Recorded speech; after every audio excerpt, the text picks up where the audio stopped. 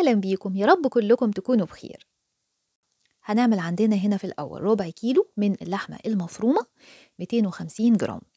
حط عليهم بصلة متوسطة أو كبيرة متقطعة معاها ورق من البقدونس معاها خمس معالق تقريبا كبار من البقسماط الناعم فص توم وبيضة ومعاها 250 جرام أو ربع كيلو من البطاطس اللي هي بطاطسية كبيرة كده شوية متقطعة. ولو تحبوا تضيفوا لها كمان جزر ممكن تحطوا معاها جزراية. هناخدها ونضربها كويس جدا في الكبة أو محضرة الطعام لغاية لما تبقى ناعمة خالص. لو مش عايزين تستعملوا محضرة الطعام هنحط كل حاجة من المكونات دي مفرومة أو متقطعة كويس قوي والبطاطس هنبشرها بالناحية الناعمة من المبشرة. ولو استعملنا جزر برضو هنبشره بالناحية الناعمة من المبشرة. بعد كده هنحط عليه معلقة صغيرة من الملح نص معلقة من الفلفل الأسود معلقة صغيرة من البصل البودرة معلقة ونص صغيرين من بهارات الكفتة أو كيس من بهارات الكفتة الجاهزة معلقة صغيرة من البابريكا ونص معلقة صغيرة من الثوم البودرة. معاها نص معلقة صغيرة من ال baking powder. هنقلب المكونات مع بعض كويس. لو لاحظنا إنها عجينة بتاعتها طرية أو بتلزق كده شوية هنحط معلقة كمان أو معلقتين من البقسماط الناعم. بعد كده هنخلطهم مع بعض كويس بنبل ايدينا بنقطة من الزيت ونجمع الخليط بتاع الكفتة نسيبه يستريح خمس دقايق بعد كده هناخده ونشكله.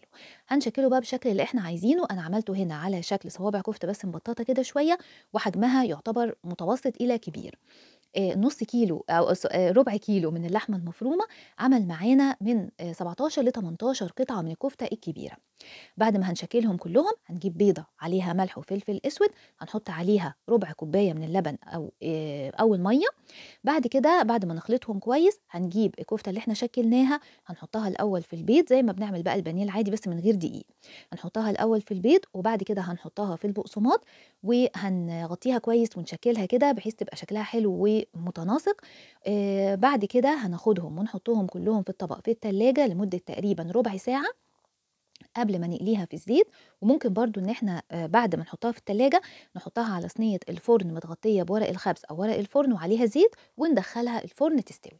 بعد كده هنحطها ممكن برضو في الفريزر لغاية لما نستعملها في أي وقت نطلعها على القلي على طول.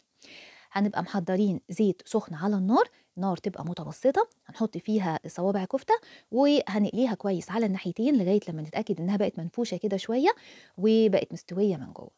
مش بتاخد وقت بتستوي على طول ريحتها في منتهى الجمال وطعمها أكتر من رائع. ربع كيلو لحمة مفرومة عملنا منه أكتر من كيلو من الكفتة هتكفي العيلة كلها وكمان مغذية ولذيذة ومفيش أحلى من كده. إن شاء الله تجربوا الوصفة الحلوة دي وتعجبكم. يا ريت تقولوا لي رأيكم في التعليقات ويا ريت كمان لو عجبكم الفيديو ما تنسوش تعملوا لايك وأقول لكم بقى مع السلامة وأشوفكم إن شاء الله المرة الجاية.